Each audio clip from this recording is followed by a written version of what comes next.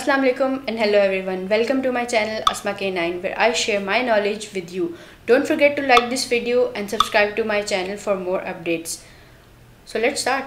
Log into your Azure portal and then open your Azure Machine Learning Studio.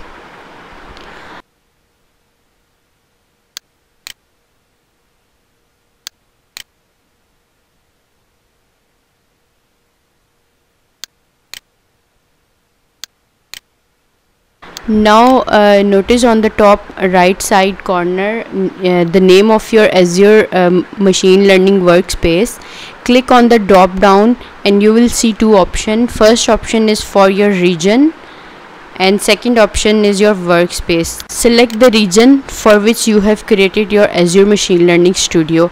Uh, I will see a button enable below and uh, when I click on that uh, button of workspace my azure machine learning studio workspace will be changed.